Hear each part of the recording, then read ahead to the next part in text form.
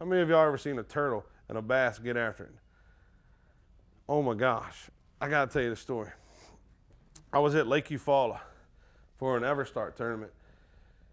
And uh, I, there's a six pounder. I can't catch it. I mean, it, it just would not. I mean, I done fished for like two days. And there's going to be some of these bass.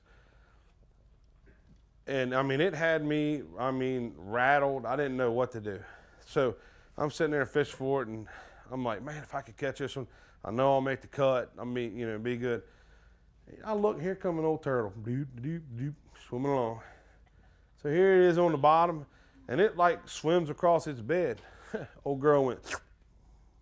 I mean, this turtle's this big, right? She, I mean, sucked it up. She swam about 10 feet.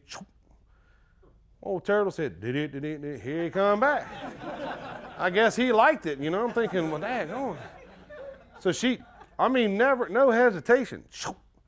I said, man, I, am I'm now, I'm, now my mind's going, you know.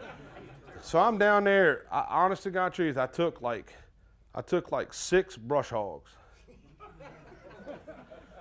now y'all laugh. I'm, I'm just saying. I took six brush hogs and melted them all together with a lighter. I had no, now I'm down in the boat and people are looking around. I'm like, yeah. So I got this pie-looking deal, dude. I mean, it's the ugliest thing I've ever seen. It's got these tentacles hanging off of it. I'm like, man, how do you even hook it? So I just run it down through the middle, of one of them brush hogs in the middle, hooked it Tex rig. I said, well, I'm gonna try it. About three flips later, yeah, she ate the wrong turtle that time. I promise you.